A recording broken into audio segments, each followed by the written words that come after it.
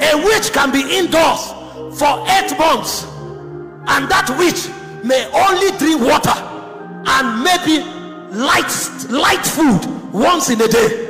And for eight months, that witch will not step out because the witch is preparing herself to meet the devil.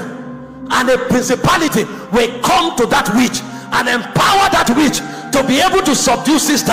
And so that witch doesn't need religion. If he enters your office and you don't have the stature to dethrone her, the day she enters that office, that day you will leave that office because of the weight of her priesthood.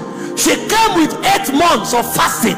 She came with eight months of intercession. She came with eight months of communion with demons. You are strolling about on Twitter and on Instagram, and you put your hands in the pocket. You want to fight a witch that has more education in the spirit than you.